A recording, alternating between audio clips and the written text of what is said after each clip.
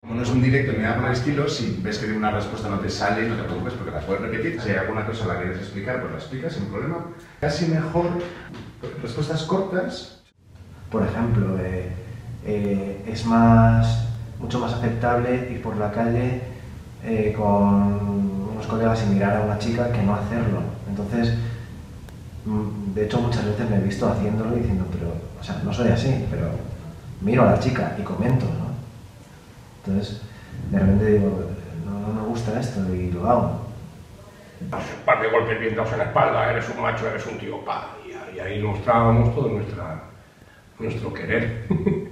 Y entonces, ¿qué costes, qué consecuencias negativas crees que tiene para los hombres ser así de seco? En definitiva, no quiero que esto suene muy rimbombante, pero yo creo que disfrutas un poco menos ¿no? de la vida y de la gente y de las personas siendo así. O sea, como que siendo duro, fuerte, poderoso y siendo ese tipo de hombre que la gente espera de ti, eh, te pierdes mucho